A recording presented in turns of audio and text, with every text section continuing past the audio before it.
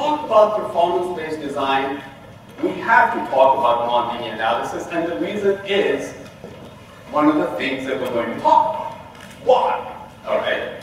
So um, before we do that, let's talk a little bit about energy dissipation.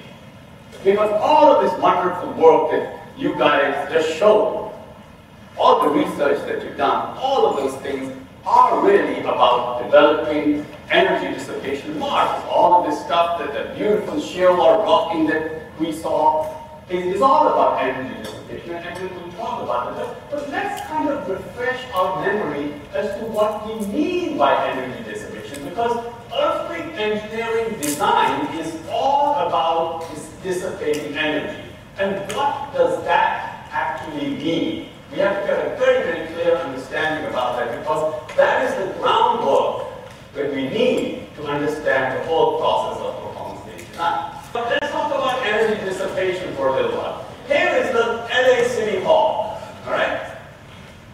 Here it is before the earthquake. It was damaged, and then what they did, they did a rehabilitation on it, and they put it on base isolators, all right? And here is a model with the structure on base isolators.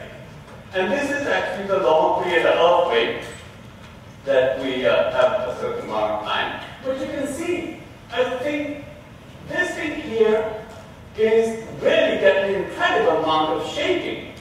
Heavy acceleration at the top, and you know, people are really, you know, getting shaken, shaken around. Whereas this one here, it essentially, you know, just goes for the ride, a little bit on the top, you know, but not much.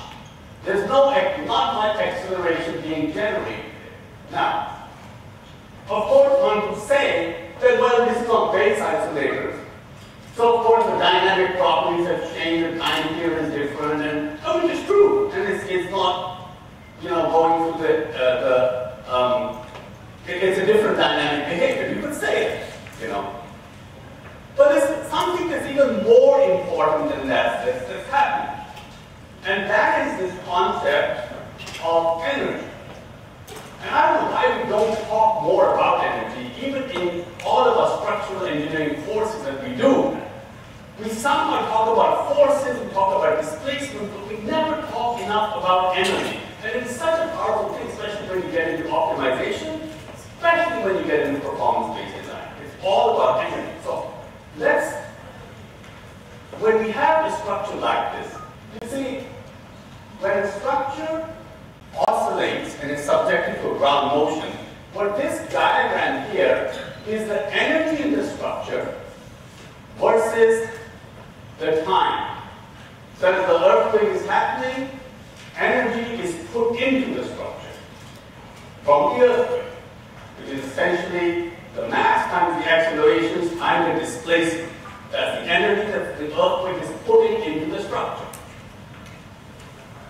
That energy is balanced by various components.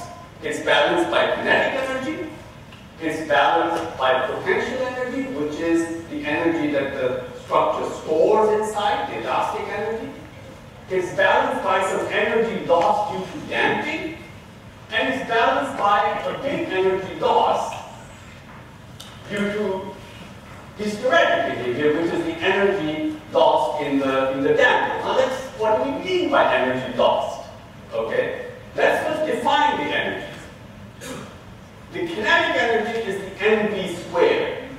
If you have a free vibration structure that just oscillates back and forth with no damping, there are two components of energy in there. There's the kinetic energy and there's the potential energy. The potential energy is the elastic energy that gets stored. And the kinetic energy is due to the motion, the mv squared, half mv squared that you have in there. And if it's free vibration, when kinetic energy is max, when kinetic energy is, when the potential energy is maximum, when the displacement is maximum, the kinetic energy is zero. When the kinetic energy is maximum, when it's going to the center, when the displacement is zero, the potential energy is zero, kinetic energy is maximum. So in this oscillation process back and forth, the kinetic energy and the potential energy are just kind of exchanging between each other. But the key thing to note is that the potential energy is the energy that causes stresses in the structure. When it deforms, the stiffness times the displacement is the force in the structure. So it's the, it's the potential energy that causes the elastic stresses. All right? Now, this is what we have here. This total amount here is the energy that is building up in the structure as time goes along. In this particular case, there are no dampers. So you've got this damping energy, that's energy lost because some of the some of the energy is being converted into heat as the structure damps.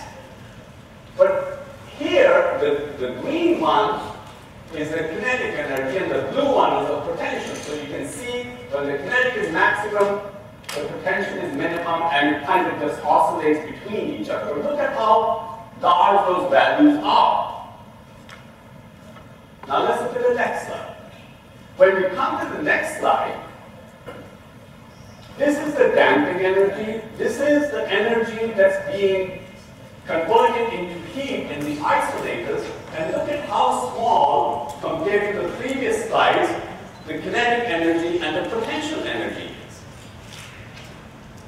So essentially the long and short of it is that between the damping and the hysteretic uh, components of the energy, if you can maximize those, if you can maximize those, then your potential and your kinetic energy will be smaller. And your stresses in the structure and the accelerations that are generated in the structure will be lower also. And that is what you see in effect when you see the structure that's got the isolators. You don't have inertial forces being generated at the top. You don't have the stresses at the top. And you don't have any of that whipping. And the stresses across the whole structure are lower. But, the, but how, why has that happened? The reason that has happened is that the isolators have absorbed a lot the energy and converted it into heat. The earthquake energy that came into the structure has been taken out. Some of it went out in, in the damping, the viscous damping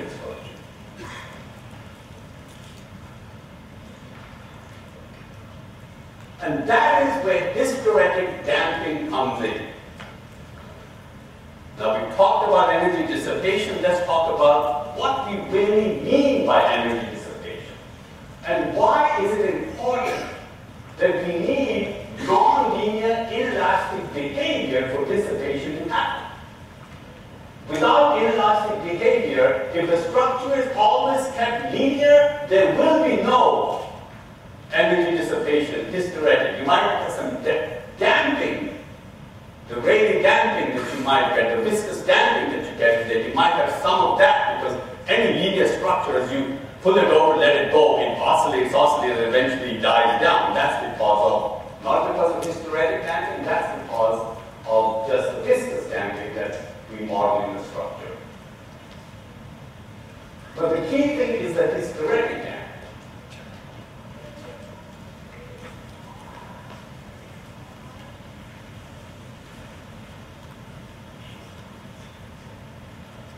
And hysteretic damping, at